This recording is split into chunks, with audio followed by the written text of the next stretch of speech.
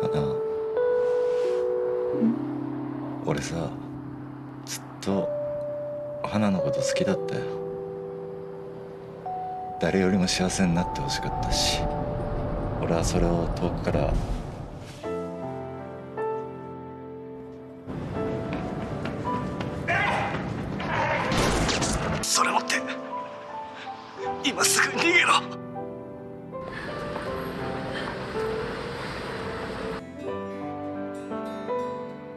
あの声に男はみんな狂っちまう。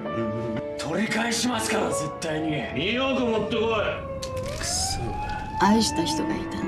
今はもういないの。何も自業自得だろ人でなしお前こに違うじゃん。夢ほっぽり出して。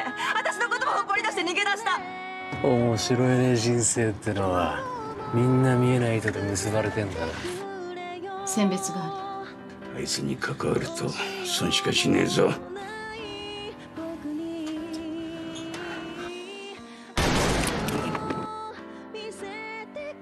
できたよ。うちらの CD 第一弾。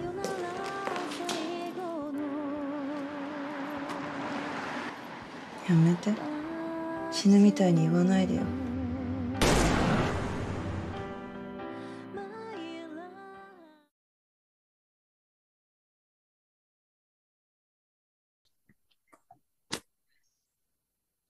では、高橋宏之のシネマ館配信、えー今日も素晴らしい映画監督とお話しさせていただきたいと思います。えーまずは自己紹介のほどお願いいたします。えー今回、ラブソングという作品をお監督させていただきました、えー小玉義久と申します。今日はよろしくお願いいたします。よろしくお願いします。あのー今日は、まあ、10月19日ですけど、割合忙しい 時にありがとうございます。いえ、あのとんでもございません真下からこの、まあ、ラブソングが、はいえー東京の方ですね、はいあの公開になって、大阪は来週、えー10月28日土曜日ですね。はい。はい、から公開になるんですけども、まあ、あはいの、また別にもう一本 お忙しい作品があって、その中で今日インタビューさせていただいてありがとまあ、うと思います。たまたまなんですけどね。はい。うんたまたまでございます。なんか周知しますね、あの、この、ね、年間でちょっと分けて公開すれば そうですよね急にこの時に固まっちゃうというええ感じですけども、はい。ちょっとなんかもったいない気もしますね。なんかね、まあタイミングは。はい。はい。あの、私は前作の越鉄物語、私、はいふふるさとに帰ってきましたので、拝見して、はい。えーその中のその監督が作った作品っていうことで、えラブソングで、えーはい。まあ、ラブソングやから、ええちょっと、この恋愛恋愛の作品かなと思ったら、ちょっと違ったんですけどね。まあまあまあ、まあ、恋愛にははい。違いないんですけど、うんうんうんはい、はいえー簡単にあらすじの方お願いします。あはい。はい。えー地方から出てきた、これはい10年前ですね、10年前、10年ほど前、地方から出てきた若者3人たちの、おお話なんですね。はい。えー今でも昔でもやっぱり夢を持って都心に出てくるっていう形ってある,、あると思うんですけども、はいまあその夢が成功するか、こう失望していくか、うん。いろんな人生があると思いますが、はい。えー今回はその中でもお割とうまくいってない人間たちの話、うんうん。うんここに焦点を合わせて、えーはいみたんですね。うん。あのー私、普段はいつも警察もの、刑事もののドラマが割と多いので、はい。はい。えー手帳を持ってる人間の話が多いんですよ。はい。で、その中でやっぱり、あのー面白いと思うのはやっぱり悪人側、あー被疑者とされる側、うん追われる側、うんはいこちらの人間の方がやっぱりドラマがあってですね、うん。こういった人間中心のドラマはやっぱ面白いよねって、はいはい常日頃思ってまして、まあはい今回こういう機会をいただいたので、はい。えーまあ、そんな3人を主軸にして、えーしかもその昭和テイストはい。にまみれた感じでですね、うん。えーまあ、作ってみや、えー作ってみたとはいいう作品なんです。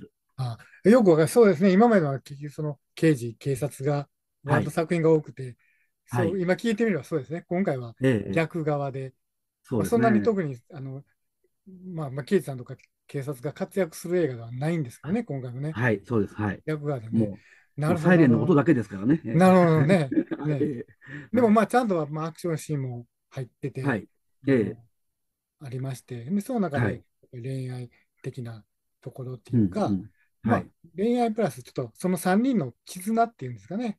そうですね。こえ。ーの辺が割合拝見はい。しさせていただいてて、はい。まあちょっとね、おオチもあるんであんまり言えないんですけど、まあはい。最後、最後の方に、まあ、我々ラストシーンの中で、まあ、それが、なるほどなっていうそうですね。はい。まあ、男2人で女はい1人の3人であればね、何かしらにそこに何かしらの感情がやっぱり生じるわけで、はい。その辺がどうやってこうねねじれながらですね、うん。えー進んでいくのかと、ううんんいうようなところのが、まあ、一つの見どころですよね。うん、だから、まあ、まあ、上映時間85分ですけども、我々はい60分ぐらいまでは、このラブソングっていう題名が、どうですか、はい。まだ合わない内容というかええこう展開ですよね。はいであだから、なんでこれラブソングなんかなっていうのを、はい。我々ずっとかけていたら、はああ、もうラストにこの題名だうんねっていうのがはい。ね、あって、あの、いろんな見どころがあって、そうですね。はい。面白かったんですけど、えであの、久々にこの、ま、増田さんもね、ーはい。主役ということで、歌がうまいアイドルね、だからそこもだかはら、あなるほどな、やっぱりあの、うんこの方を使ったのは、い。はい。こういう流れやからなっていうのも分かりました。はい。初めはちょっとそうですアクションだけ考えると、はい。ええちょっとあれ、無理があるのかなとか一瞬、えはいあ。の先入観でね、もともとアイ,、ドルさんだったんで、はい。思ってたんですけど、まあ、そこもまあ、あの、あるようでないような、うんうん。こう微妙なところのアクションでね、はい。の残していって、ですねで最後にやっぱり、この増田さんうん。らしはいい。演技というか、うですね。必要だったっていうのがはい分かり。ましたね。はい。だからね、ありがとう本当、初め60番我々、その題さっきの題名もそうですけど、えうんなんで増田さんっていうのが、我々引っかかってて、ええもう我々はまあ変な話、あのグループからやったら、はいちょっとまだ何人かええおるのになとか思いながらしてて、ええええあの、はい。思ってたんですか、あなるほどな、はい。と思いましたね。はい。うんそうやって、そうやって最後に留飲が下がるといいですよね。そうですね、そうですね、そうですね。だからこれはまああの、はい全部全編いいんですけども、最う最後のの、はいあれですね。で、あの、相手役の木口さんなんですけど、はい。はい。私、彼の作品見るこれで9本目なんですよ。ええはい。はい。あの、いろいろ、なんか出て、まあ、主役だったりとか、脇役であったりとかで出て、で、今回はまはいあ主役級ですから、はいこのワイルドな菊池さんで初めてちゃいますかね？なんかあ、今までそうかもしれませんね。割とやっぱ今繊細な、繊細な感じ多いですよね。あれ青年っていうのが、うん。今回、まあ。今回も一応青年ですけど、ええちょっとワイルドっていうか、はい。あ、はい大人になって、大人になったなっていう、なんか。か今回、新境地やなと思いながらはい。拝見させてもらいましたけど、ええとてもね、雰囲気のある方でね。はいええええまあ、ちゃんと演、ね、ちゃんと演技もしはるし、はい。演技についても現場でもね、いろいろ相談をして、あ、ええここはこうし、うん、こういう感じでっていうはい話をしてですね。ははいい。はいまあ、その企画的にはまあ監督がされたかった企画であって、そういう、はいまあ、その演者さんに対しても、我々そういう、どうですか、こう思ってるイメージでえ皆さん演技していただいたみたいな。そうですね。まあ、ねあのすべては、まあ、要望というか、設計図はもう脚本に書いてありますので、はいあとはその俳優さんがですね、どういうふうはいにご自身の中で消化して、はい。えーご自身なりのその役を表現していただくかということに、まあ、つきますので、うん。比較的ここあこの芝居はこうで、ああでっていう、割ときょ、あのー強めにというか、強引にその方向に持っていくということは、まあ、あしない方針ではあるんですよ。はい。やっぱあくまでも話し合あの話し合いながら、あじゃあ、だったらこの方向ね、だったらこの方向ねっていうことで、はいまあ、修正加えながらやっていくというのが、まあ、私のやり方だったりしますので。はい。はい。うんで、そしてもう一人出てます、あの、山口大地さんね。はいはいはい。山田今年これでね、4本目です。え4本目ですよね。あ、そうですか。うんほんで、今度はいはい5本目が公開になるんですけども、おお、ではい。実は私、私、今年公開の、まあ、3ええ本拝見してまして、はい。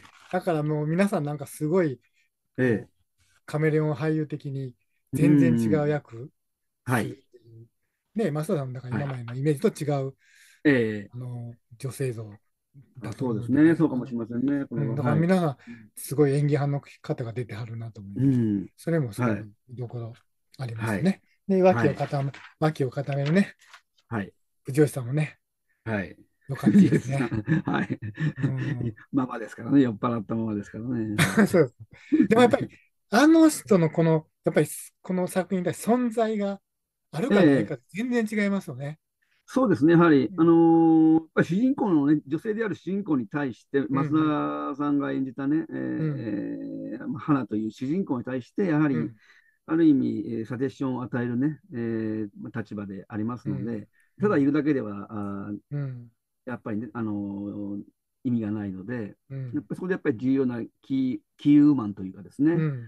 うん、そういった役を、あのー設定して、まあ、セリフもうん。そんな、そんなセリフをですね、こう、うん。あ作りや、作っていったというところなんですよね。うんいや、まあ、やっぱりそうやって、あのー一人一人の主人公に背景を与えることによって、うん。演演じる側もとても演じやすくなるというのはもう明らかなことなので、うん。なかなか脇の方だと背景まで言及できないのでですね、はいはい。言い及ぶことができないので、うん。そのあたりもちゃんとわずかなあ行の中にもそういうものを凝縮してうん。与えることで、あのそのえー藤吉さんが演じる役もですね、うん。えーキャラクターとして生き生きしてくるとうん。いうことなのなのかなと思います。でね、本田さんの存在もね。はい。なんかここがちょっと対になってるんですよね。だからね。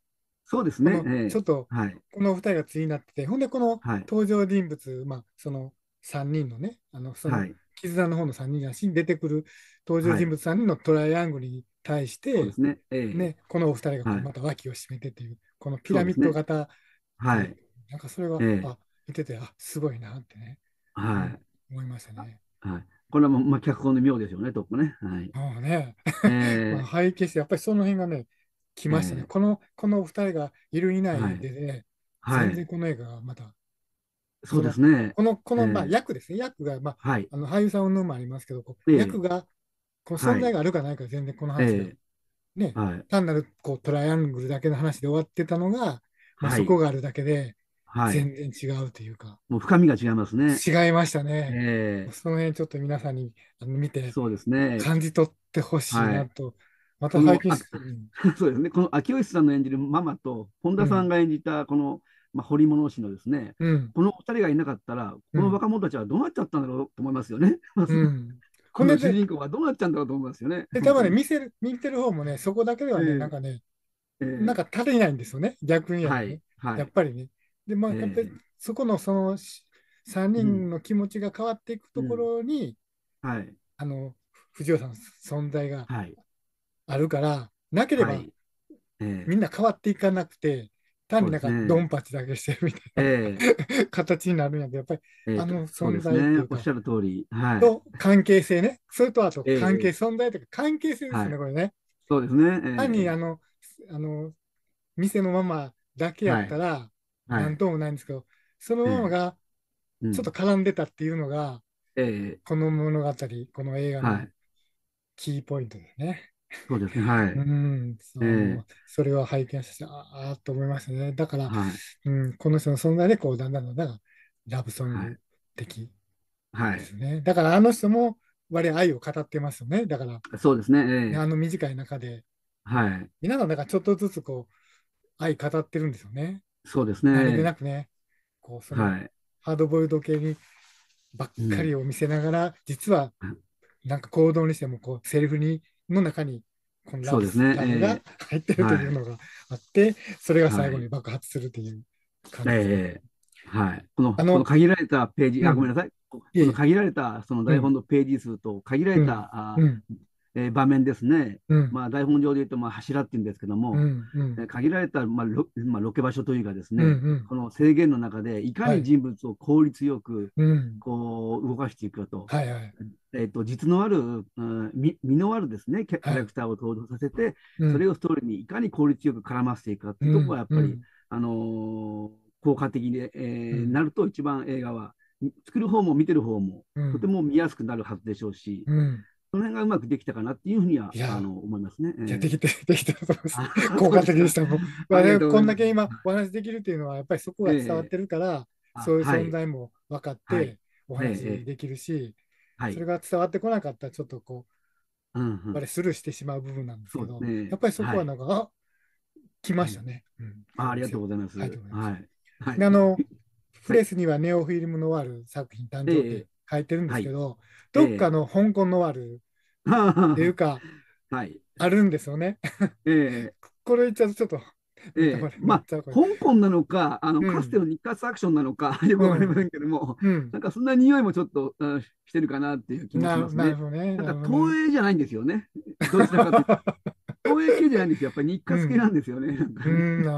私が日活の育ちなもんですから。ああ、そうだ。ね。いや、だからね、こうええ、網が降らなかったんで、はい網を入れると、香港のあるかなとか思あそうですね。ええ。網がないから、はい。ええ、雨は予算的な問題なかったですからねもしかしたらこれ網を入れちゃうと、あの、はい。完全な香港の終わるみたいなええ、あの冒頭の。冒頭のところなんか雨でもよかったんですけどね。うん、なるほどね。やっぱうり、ん、はい、実は。えまあ雨の日に撮るとまた違うしね。どうしてもその辺はどうしても、このはい。セットというか、ええ。特殊効果でね、使いたいなね。やっぱりナイターで路面が濡れてるっていうのはね、いいですからね。ああ、そうです か。わあ、いいですね。やっぱりこええう、拝見させてもらったそういうね、なんか、いろんはない細かいことにはい。気づかされる作品ですよね。うんはい。はい時間的にすごく短いんですけど、なんかええ2時間分以上の映画を見た感じで、はい。8時5分ですからね。うん、だから、うん。すごい詰まってていいなっていう感じで、はい。はい、最後にもよかったです。本当にラブソングです。このええ今日、ちょっと私が投げら投げさせていただいたキーワードが、見ていただくとえ全てわかるというか、で、はい監督の思いも。見ると多分全て今のお話、今日のお話、はい。はい。多分見ていただくとええ分かっていただけると思います。はい。そうですね。皆さん見ていただいて感想とかね、ちょっと今の公開関数が少ないんでね、ちょっとそうですね。せっかくはい。やったらちょっと九州の方とかね、北の方もえこうえ。ですから、見ていただいた方のう、まあ、そそれぞれ発信していただいてですね、あの、ね。お知り合いに進めていただいてね。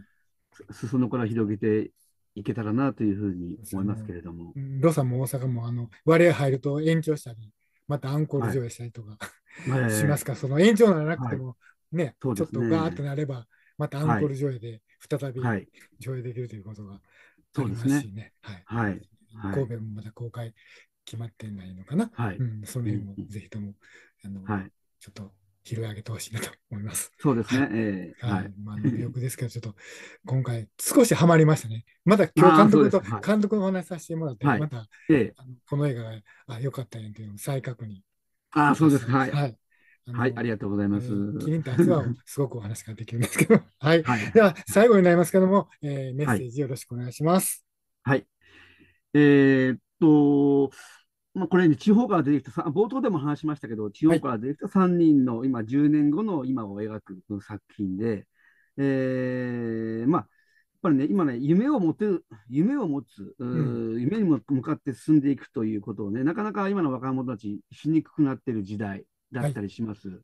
はい。また、それに対して遠慮がちだったりする、うー Z 世代の方とかね、自分よりも人のことを気にしてしまったりとか、はい。うん自分がもしここで失敗したらひ人が迷惑するかなとか、それを恐れて行動に移せないとかですね、はい。